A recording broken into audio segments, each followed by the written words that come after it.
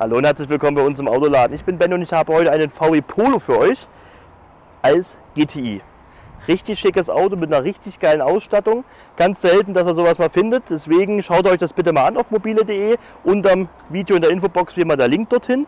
Guckt euch die, äh, die Ausstattung mal durch. Ist wirklich sehr umfangreich und richtig schickes Auto. Wie immer schauen wir uns heute mal das Auto an, insbesondere den Zustand des Fahrzeugs und gehen mal eine Runde rum. Wir fangen vorne an.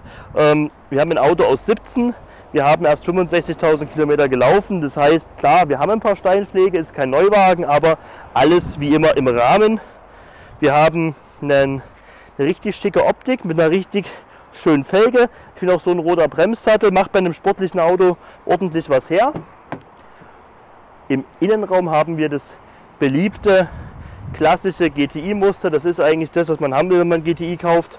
Wir haben das äh, Automatikgetriebe, DSG, eine Klimaautomatik, Navi, alles dabei und jetzt beim Polo ganz selten dieses richtig, richtig geile, riesige Panoramadach. Das ist eine Sache, die jetzt vor allem im Sommer einfach richtig cool ist, wenn ihr da das Dach aufmachen könnt. Und das haben die Polos wirklich nicht so häufig. Das heißt, hier echt tolles Feature. Die Rückbank sieht auch noch gut aus. Wie gesagt, ist bei Stoff immer ein bisschen die Frage, aber ihr seht, hier ist noch nichts ausgelaufen, nichts schiefgegangen. Im Kofferraum angekommen, habt ihr natürlich einen Kleinwagen, aber ich finde eine schöne Ladekanne eine gerade und habt trotzdem Platz für Einkäufe.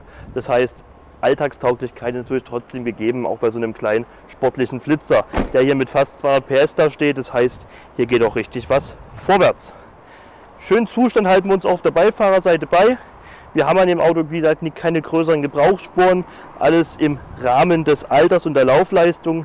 Wie gesagt, ein paar Steinschläge bleiben nicht aus, aber das ist, denke ich, normal und auch bei einem Auto, was schon 65.000 Kilometer dann hinter sich hat, eine ganz normale Sache. Trotzdem steht er perfekt da, hat eine tolle Ausstattung, deswegen denke ich, dass das Auto genau das Richtige für euch sein könnte. Wenn das der Fall ist, dann ruft er uns bitte an, nur der Woche von 9 bis 18, am Samstag von 10 bis 14 wir rechnen euch, wie gesagt, für so ein Auto auch immer gerne eine Finanzierung oder eine Gebrauchtwagengarantie mit dazu. Wir geben, also ihr könnt uns gerne euer altes Auto auch in Zahlung geben, das nehmen wir sehr gerne.